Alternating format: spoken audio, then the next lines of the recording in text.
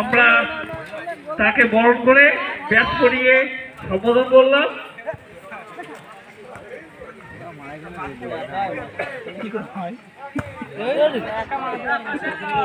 out বল